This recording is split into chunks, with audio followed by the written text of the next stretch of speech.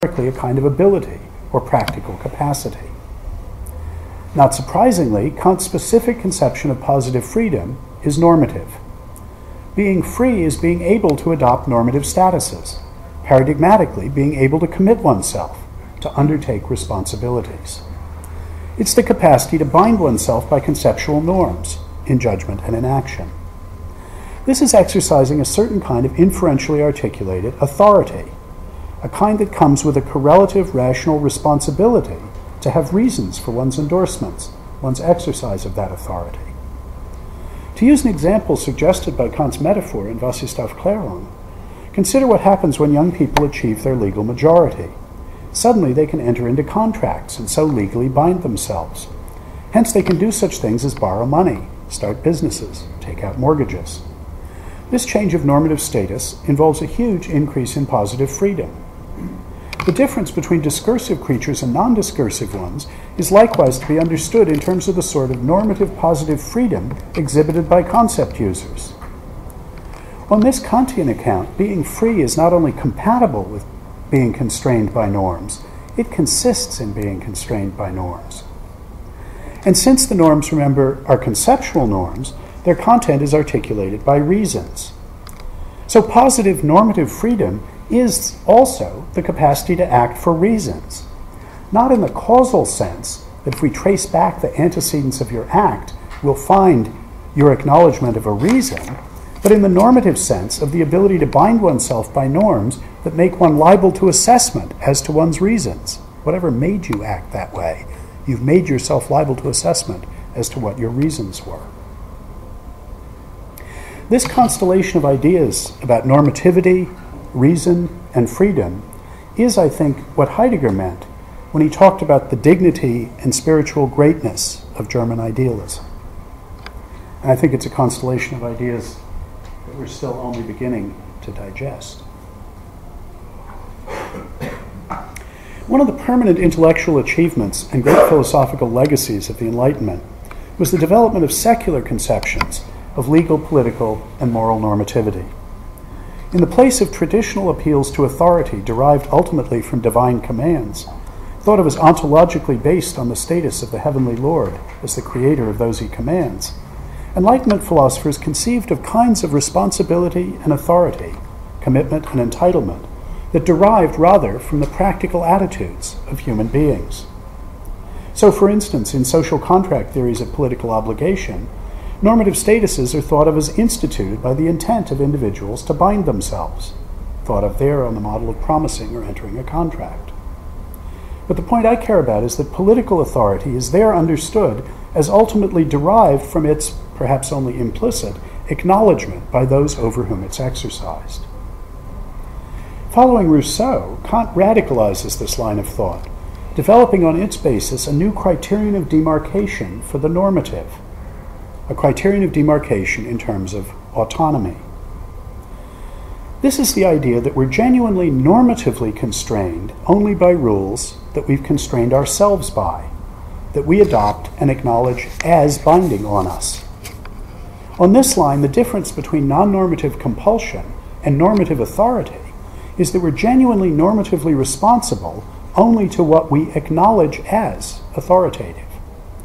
In the end, Kant, like Rousseau, thinks we can only bind ourselves, in the sense that we're only really bound by the results of exercises of our freedom, self bindings, commitments that we have undertaken. The acknowledgement of authority may be merely implicit, as when Kant argues that in acknowledging others as concept users, we're implicitly also acknowledging a commitment not to treat their concept using activities as mere means to our own ends. So he thinks there can be background commitments that are part of the implicit structure of rationality and normativity as such. Still, even in these cases, the source of our normative statuses is understood to lie in our normative attitudes. Merely natural creatures are bound only by rules in the form of laws whose bindingness is not at all conditioned on their acknowledgement of those rules as binding on them. But normatively free, rational creatures are also bound by norms which is to say, by rules that are binding only insofar as they're acknowledged as binding by those creatures. As Kant says, we're bound not just by rules, but by our conceptions of rules. Now, I think it's important to notice that this picture requires the strict conceptual separation of the content of norms from their normative force. The Kant Rousseau autonomy understanding of the nature of the force or bindingness of norms, the criterion of demarcation of the normative in terms of autonomy, in terms of binding being self binding, it means that only we can normatively bind ourselves. It's in the end up to us what we're committed to and responsible for. But if not only the normative force, but also the contents of those commitments were, were up to us, then, to paraphrase Wittgenstein, whatever seems right to us would be right, and talk of what's right or wrong could get no intelligible grip. That is, no norm would have been brought to bear, no genuine commitment undertaken. Put another way, autonomy, binding oneself by a norm, rule, or law, has to have two components, corresponding to autos and nomos. One must bind oneself, but one must also bind oneself. And if not only that one is bound by a certain norm, but also what that norm involves, what's correct or incorrect according to it, is up to the one endorsing it, then the notion that one is bound, that a distinction has been put in place between what's correct or incorrect according to the norm, goes missing. That is to say, the attitude dependence of normative force, which is what the autonomy thesis asserts, is in principle intelligible only in a context in which the boundaries of the content are not, up, are not in the same way attitude dependent. What I acknowledge as constraining me, and by that acknowledgement make into a normative constraint on me, in the sense of opening myself up to the normative assessments according to it, cannot be up to me in the same sense, in the same way as whether I'm bound is.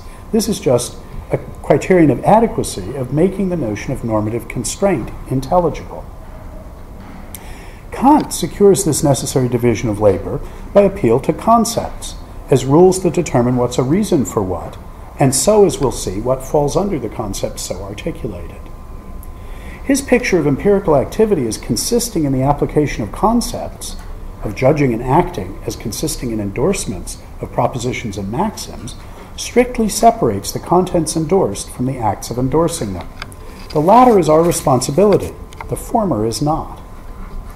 The judging or acting empirical consciousness, for Kant, always already has available a stable of completely determinate concepts. Its function is to choose among them, picking which ones to invest its authority in by applying them to objects, and hence which conceptually articulated responsibility to assume, which discursive commitments to undertake.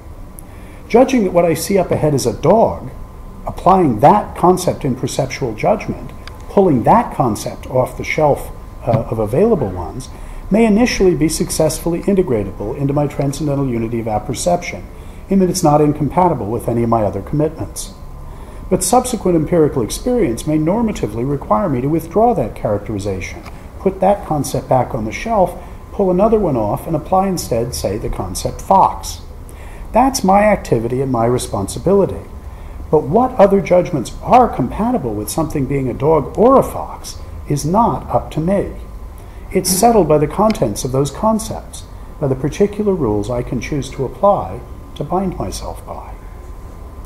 In taking this line, Kant is once again adopting a characteristic rationalist order of explanation. It starts with the idea that empirical experience presupposes the availability of determinate concepts. For apperception, awareness in the sense required for sapience, awareness that can have cognitive significance, is judgment, and judgment is the application of concepts. Even classification of something particular as something as of some general kind counts as awareness only if the general kind one applies is a concept.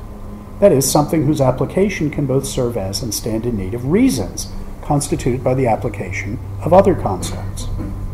When an iron pipe rusts in the rain, it is in some sense classifying its environment as being of a certain general kind. But it is in no interesting sense aware of it.